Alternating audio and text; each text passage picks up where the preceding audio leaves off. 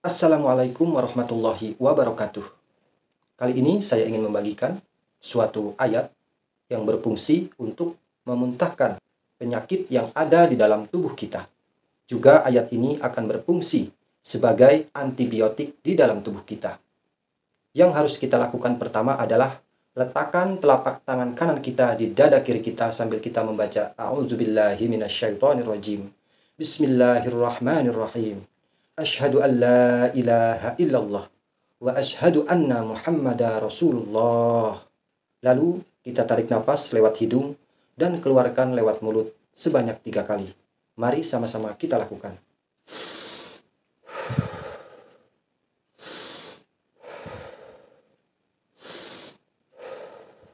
Lalu selanjutnya bacakanlah surat Al-Anbiya ayat ke-83 sebanyak tiga kali.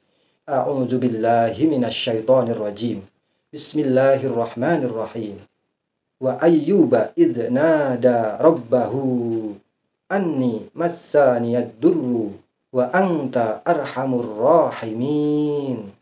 Wa ayyuba idz nada rabbahu anni massaniyad durru wa anta arhamur rahimin wa ayyuba iz nada rabbahu anni massani durru wa anta arhamur rahimin.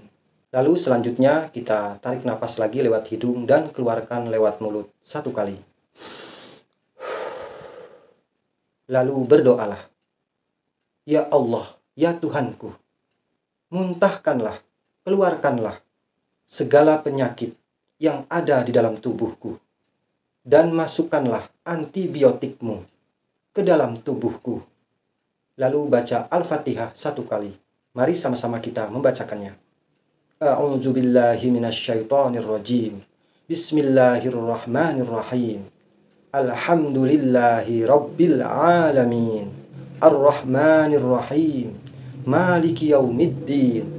Iyyaka na'budu wa iyyaka nasta'in ihdinas siratal mustaqim siratal ladzina an'amta alaihim ghairil magdubi alaihim waladdallin amin lakukan beberapa kali.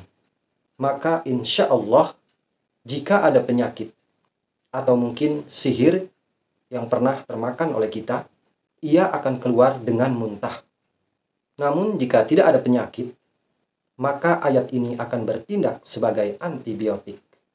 Lakukan dengan rutin, mudah-mudahan kita semua dijauhkan dari segala penyakit yang nyata maupun tidak nyata, penyakit medis maupun non-medis. Sekian mudah-mudahan bermanfaat.